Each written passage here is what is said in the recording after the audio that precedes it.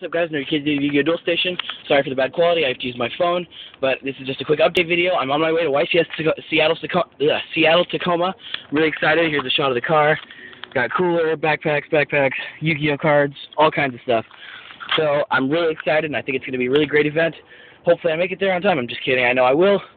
Um, I'll be taking vlogs while I'm in there, and hopefully things will work out good.